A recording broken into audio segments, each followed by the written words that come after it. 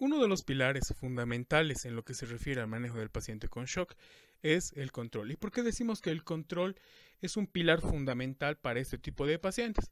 Porque de esa forma nosotros vamos a poder determinar que si lo que estoy haciendo por el paciente está ayudando a su recuperación o eh, este paciente no responde y está empeorando.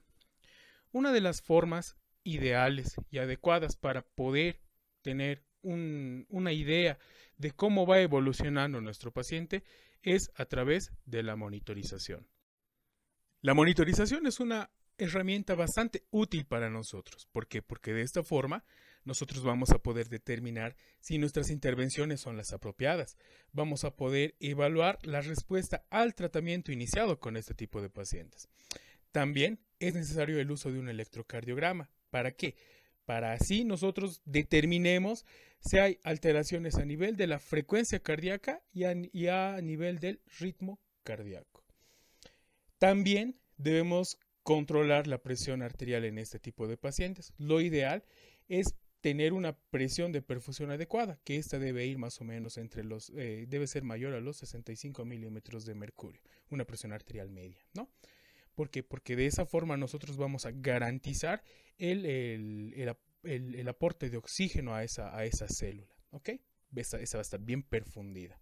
Obviamente no esperemos que este tipo de pacientes tengan una presión eh, ideal. No, eso es imposible. Por eso, lo ideal es que estos pacientes estén en una, en una presión arterial media de eh, mayor a 65 milímetros de mercurio, a lo que se conoce como hipotensión permisiva.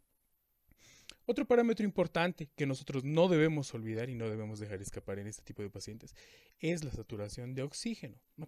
Esta, ¿Por qué? Porque eh, con esta vamos a controlar y vamos a asegurar la saturación de la oxihemoglobina. Ahora, a estos parámetros eh, nosotros podemos hacer eh, uso de una sonda vesical, que es un muy buen indicador de la perfusión renal.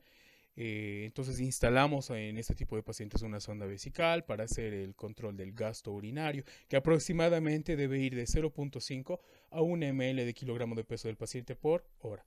También podemos hacer uso de laboratorios, ¿no? Ya, pero esto es para un nivel mucho más avanzado y mucho más eh, complejo. Y bien, señores, llegamos al último punto de esta pequeña presentación, el manejo del paciente con shock. Como primer punto de este eslabón tenemos tratar la causa del shock. Sí, hemos visto en la fisiopatología y, en la clasificación del shock que este puede estar originado por diferentes causas. Entonces, debemos tratar esa causa. Una vez que nosotros hemos tratado la causa del shock o el desencadenante del shock, lo que vamos a hacer es administrar oxígeno suplementario. En la fisiopatología vimos la importancia del oxígeno en este tipo de pacientes. Entonces, no les neguemos oxígeno, ¿ok? Démosle oxígeno a ese paciente. ¿Cómo? A través del uso de dispositivos de alto flujo. De esa forma vamos a mejorar la fracción inspiratoria de oxígeno en este tipo de pacientes. ¿Y cómo podemos corroborar eso? A través de la monitorización, utilizando un oxímetro de pulso. Si bien la restitución de la bulimia es un punto importante en este tipo de pacientes, esta debe ser con mucho cuidado. ¿Ok?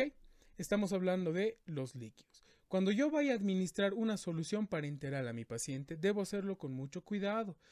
No es como vemos en los servicios de emergencia, pasar líquido a chorro, así, pasar líquido a chorro. No, señores. Hacer este procedimiento trae muchas más complicaciones que beneficios en este tipo de pacientes. Y eso está descrito. Ahí está en la literatura, medicina basada en evidencias.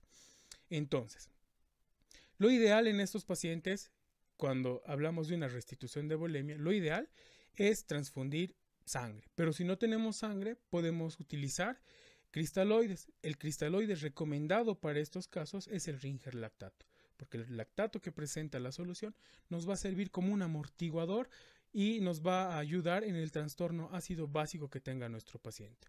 Otra forma de manejar la bulimia en este tipo de pacientes es a través de un procedimiento denominado elevación pasiva de las piernas. ¿Qué quiere decir eso?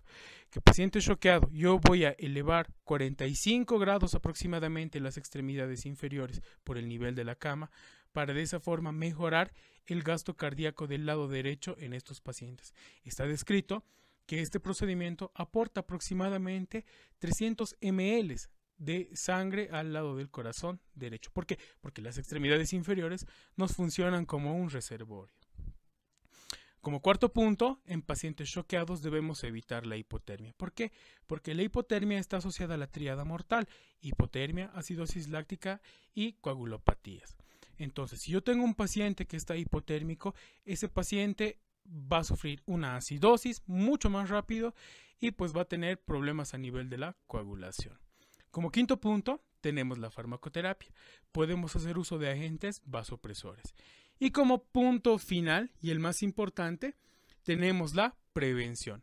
La detección temprana de este síndrome aumenta intensamente las probabilidades de supervivencia del paciente.